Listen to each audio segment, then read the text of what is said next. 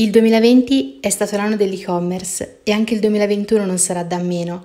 In Italia le cose più acquistate online sono abbigliamento, mobili e cosmetici, ma bisogna prestare molta attenzione poiché la truffa è sempre dietro l'angolo. Proprio per questo siamo andati a intervistare Giovanni, che lo scorso ottobre ne ha subita una e che ha richiesto di non essere ripreso. Io eh, ho messo in, eh, in, vendita su subito.it un tavolo, eh, dopodiché eh, il giorno dopo sono stato contattato da una potenziale cliente eh, dicendomi che, mm, che, era interessata e lei era francese però che viveva in Costa d'Avorio per darmi il, l'interesse delle, dell'acquisto mi ha detto che era una persona seria e mi ha mandato i suoi documenti.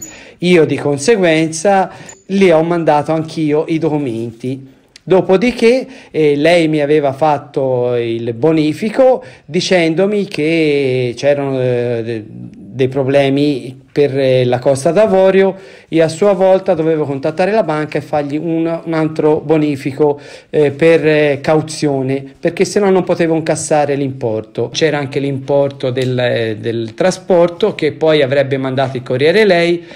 Di conseguenza io mi sono un attimino insospettito perché eh, questo affare qui non è che mi convinceva più di tanto. Ho contattato la mia banca, la mia banca mi ha detto che non esiste assolutamente questo tipo di pratica, cioè il bonifico quando viene mandato viene incassato subito. A quel punto lì, quando la banca mi ha detto che questo importo eh, non poteva essere incassato, cioè dove, i bonifici sono diretti, non esistono cauzioni di versamento per coprire l'importo, sono andato alla polizia e ho fatto la denuncia. Giovanni alla fine non ha abboccato e ha denunciato la truffa, ma rischia comunque un furto di identità.